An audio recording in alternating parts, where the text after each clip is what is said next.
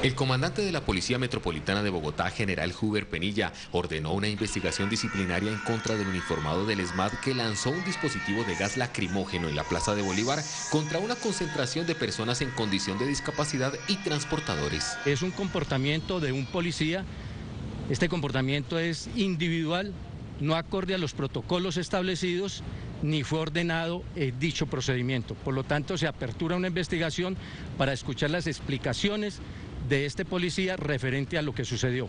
El alto oficial también aseguró que pudo concluir que la activación de dicho gas no fue accidental. En una evidencia fílmica para mí no es un hecho accidental, es un hecho totalmente premeditado y por eso ordeno la investigación. Varios videos fueron conocidos a través de las redes sociales donde también algunos ciudadanos rechazaron el comportamiento del uniformado. Según las autoridades, este acto dejó varias personas lesionadas, entre ellas un menor de edad, por la inhalación del gas lacrimógeno. La activó en medio de los policías y la lanzó al sitio donde había mayor concentración de los mismos. Algunos de los policiales también fueron atendidos. Tenemos atención en su momento a un menor de edad y a dos policiales, que a dos policías, perdón, ahí en la misma plaza de Bolívar. A través de su cuenta de Twitter, el alcalde de Bogotá, Enrique Peñalosa, lamentó lo ocurrido y anunció que hará seguimiento a la investigación.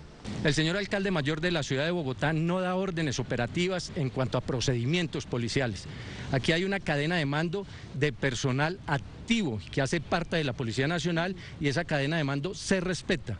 El señor alcalde es el jefe de policía de la ciudad, no da órdenes operativas en el ámbito de los servicios. El menor y dos uniformados permanecen bajo observación médica.